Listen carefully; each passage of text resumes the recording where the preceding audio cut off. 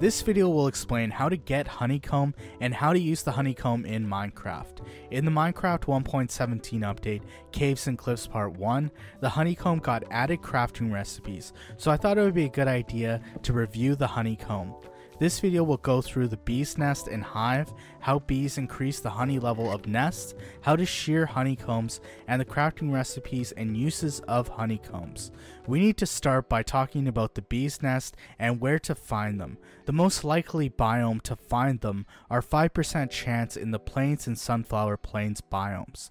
This percentage represents the chance of finding an oak or birch tree with a bee's nest on it. In these biomes, if you look at 20 trees, you might find one bee's nest. In the flower forest biome, it is a 2% chance in Java and a 3% in Bedrock. Even though flower forests have a lower chance, there is a higher tree and flower density, meaning you are more likely to find a bee's nest in the flower forest. The forest, wooded hills, birch forest, tall birch forest, birch forest hills, tall birch hills have a 0.2% chance in Java and a 0.035% chance in Bedrock. Bees nests can also generate on trees when an oak or birch sapling is within 2 blocks of a flower there is a 5% chance for a bee's nest to appear with 1 to 3 bees in it. This applies to any biome in any dimension. If you apply bone meal to an oak or birch sapling within 2 blocks of a flower, you can spawn a bee's nest without having to look for one. If you want to move the bee's nest, you will have to break it with a Silk Touch enchanted tool. The Silk Touch enchantment drops the block instead of breaking it. The axe is the quickest tool to break the bee's nest. If you use any tool without the Silk Touch enchantment on it, it will destroy the bee's nest and the bees will be angered. Also, if you mine a bee's nest and there are bees in the nest and you use the Silk Touch enchantment, the bees will still stay in the bee's nest. You will probably want to mine a bee's nest that has bees in it, preferably at least two, so you can breed more. Let's talk about bees. First off, bees are a neutral mob, meaning they won't attack you unless you do something that angers them. When it comes to bees' nests, 1 to 3 bees will be housed in the bee's nest or hive. Bees without nest will wander around looking for an empty nest. Bees travel up to 22 blocks from the nest to find something they can pollinate. They can travel further if necessary. They are attracted to flowers, sweetberry bushes, flowering azalea, and flowering azalea leaves. They circle a flower for 30 seconds, collecting pollen. When they have the pollen, there will be particles dripping from the end of the bee. Bees will fly into the nest and work for 2 minutes. This will increase the honey level by 1. The bees will return to the nest at night or when it is raining. The bees will stay in the nest for 2 minutes before coming back out. The bees will attack you if you attack one of them. The bees, when they are attacked, will swarm the player and try to sting them. If they succeed, the player gets the poison effect. The bees will lose the stinger and die after one minute. The bees can also be led by a lead and follow a player if they are holding a flower. Bees can be bred by feeding them a flower and entering them into love mode. Two bees will breed a baby bee. How to get a honeycomb. When bees nest or beehives reach honey level 5, they can be harvested to get honeycombs. You can tell the nest or hive is full because it will be dripping with honey and you can see the honey particles falling from it. To harvest, you will have to put a lit campfire or light a fire under the nest. Using shears will drop 3 honeycombs. If you don't use a campfire, the bees will be angered and attack you. The honeycomb can also be collected using dispensers. When the dispenser has shears inside and is next to the nest, it can be activated and shear the nest. This won't anger the bees.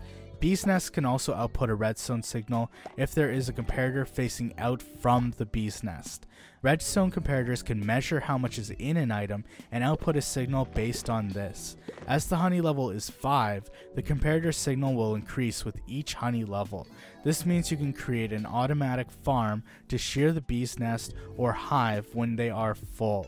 Shears will use durability each time it is used in a dispenser.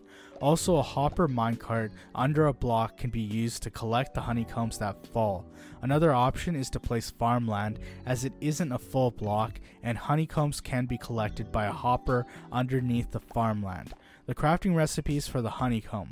The first recipe is a beehive can be crafted with 6 planks and 3 honeycombs. Beehives are the same as a bee's nest, the only difference is they can be crafted. The second recipe is 4 honeycombs can be crafted into a honeycomb block. The honeycomb block is a decorative block and cannot be crafted back into honeycombs. The next crafting recipe is a honeycomb and string can be crafted into a candle. The candle can be changed to any color by crafting the candle with a dye. The candle is similar to sea pickles, 1 to 4 candles can be placed on one block. The light level increases by 3 with each candle. At 1 candle it is a light level of 3, at 4 candles it is a light level of 12. The candle can be lit with flint and steel, a fire charge, or a flaming projectile. The candles can be placed on a cake. The last crafting recipe is a honeycomb can be crafted with a copper block to wax the copper block. With copper blocks they can weather when they are placed in the world. There are four stages that are copper, exposed, weathered, and oxidized. This goes from a copper color to green. When a copper block is placed in the world, every random tick, a random tick is on average 68 seconds, there's a 5% chance for the copper block to enter pre-oxidation.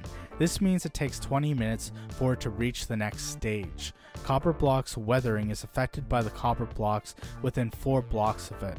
Blocks that are a lower oxidation will prevent the copper block from oxidizing, and blocks with the same oxidation will cause the copper block to oxidize slower. The best way to weather copper blocks is by placing them 4 blocks apart. Anyways, waxing a copper block will prevent the copper block from reaching the next stage. If you like the look of a weathered copper block, it can be crafted with a honeycomb to keep it at that stage. The waxing also applies to cut copper blocks, cut copper slabs, and cut copper stairs. All of these blocks can continue to weather when they are placed in the world. If you want to remove the wax, it can be scraped off using an axe.